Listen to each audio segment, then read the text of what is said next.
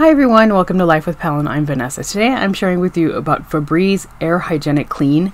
And this is a um, rather unique, kind of like an aerosol spray. This was a complimentary product on behalf of Try It Sampling and Febreze. Overall, I was really happy with it. This is their clean splash scent, but to me it had more of like a cinnamon, almost um, like a woodsy scent. It was very nice. I liked it that it wasn't overwhelming and it wasn't like really powerful. You don't have to shake the bottle. I was kind of surprised about that. According to the directions, it, it includes water based um, and plant based scents. And you can use it around dogs and cats, but is not advised to be used around birds. Uh, my cats didn't really have a problem with it. They kind of liked the smell. They were like following me around trying to find out what I was doing.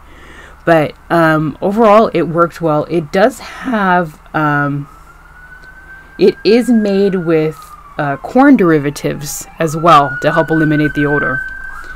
Um, according to the bottle, it eliminates tough odors and reduces up to 75% of dust and pet dander. But the trigger is very easy to use, and all you basically do is you hold it away from yourself, and then you just do one little sweep like that, and that should work.